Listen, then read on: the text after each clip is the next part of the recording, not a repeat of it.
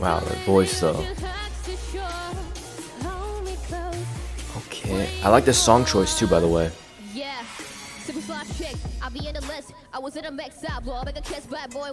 Oh, wait, she raps? Wait. That is crazy. Hold up.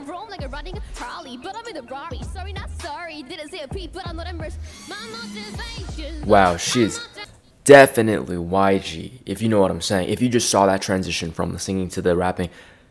Versatility, okay, I, I don't even know what role she would have in this group. I'm guessing this group might not even have the positions. They might just be well rounded, but that is very cool.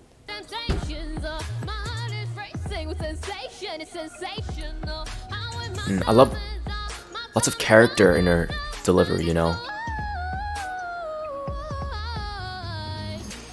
Clean, that's falsetto.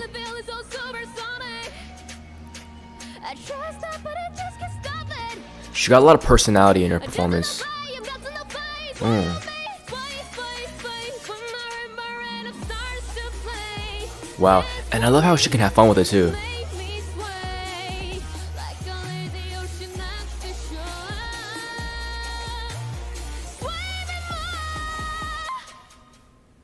Oh, she can belt.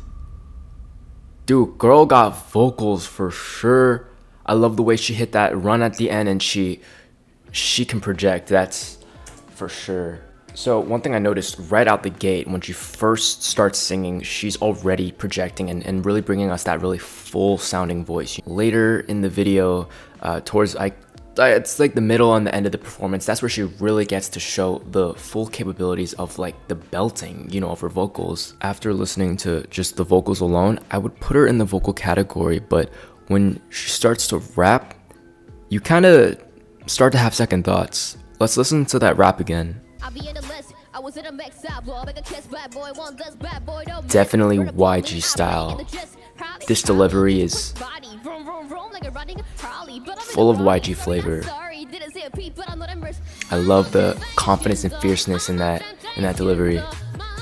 Once again, I have to emphasize YG really was not, you know, lying when they said that this group would be the baby of you know all the YG groups like take all the quality elements in the other you know YG groups and see it kind of trickle down into this group right here and you can definitely see the mentorship the effects of the mentorship in the talents of these members and this is only the second member. We're getting close to debut. This is a sign you know the more they release these videos and man what is next? What is next YG